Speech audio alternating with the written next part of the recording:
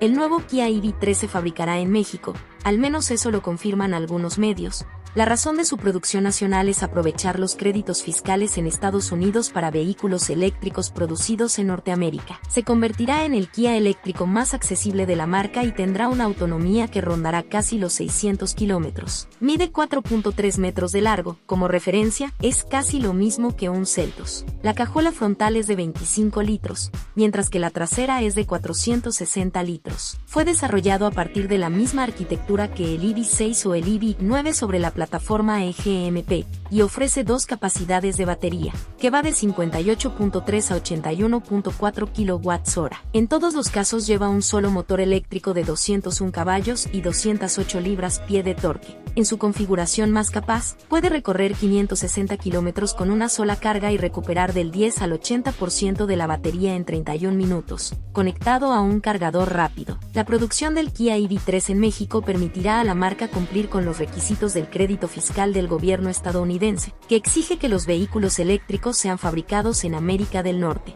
Esto puede proporcionar ventajas competitivas importantes para Kia, especialmente en un mercado donde el costo es un factor decisivo para muchos consumidores. Otro aspecto importante es su diseño disruptivo con elementos Sager Face, que pueden resultar atractivo para un amplio rango de consumidores que buscan hacer la transición hacia vehículos eléctricos sin incurrir en costos elevados. Su interior se percibe tecnológico y agradable. La tela que encontrarás en el tablero, en las puertas, en los asientos y hasta en el techo proviene de botellas de PET recicladas. Cuenta con dos pantallas de 12.3 pulgadas además de un control táctil de 5 pulgadas para el aire acondicionado y un head-up display de 12 pulgadas. En tecnología y seguridad también es destacable, pues equipa varias asistencias a la conducción. Su lanzamiento tendrá lugar en Corea del Sur en julio, para continuar su expansión a Europa y América en el transcurso de 2024 y de 2025, con una etiqueta que promete partir en torno a los 30 mil dólares que equivale a 550 mil pesos mexicanos aproximadamente, volviéndose un rival de cuidado para modelos como el Chevrolet Bolt o Volkswagen ID3,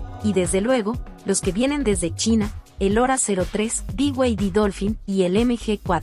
En Estados Unidos sería candidato a un subsidio de 7.500 dólares, dejando su precio de partida en torno a 22.500 dólares, es decir, alrededor de 405 mil pesos. Sobre su lanzamiento en México, aún no hay una fecha oficial, pero podría ser a finales de 2025 o a principios de 2026. Más adelante la marca nos dará más detalles sobre su venta en otros lugares.